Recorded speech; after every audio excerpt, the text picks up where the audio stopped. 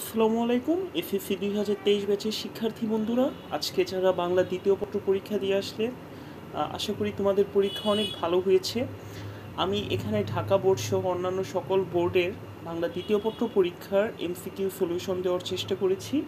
তোমরা চাইলে মিলিয়ে নিতে পারো।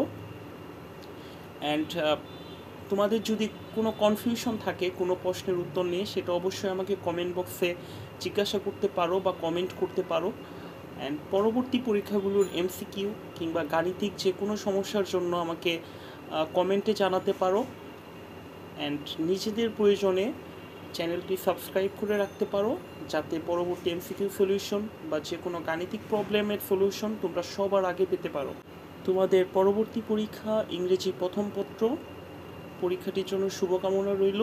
আশা করব তোমরা মনোযোগ দিয়ে লেখাপড়া করবে, নিজের এবং নিজের ফ্যামিলি এবং তোমাদের শুভাকাঙ্ক্ষীদের মন জয় করবে এবং নিজেকে এগিয়ে নিয়ে যাবে। তোমাদের জন্য শুভকামনা রইল।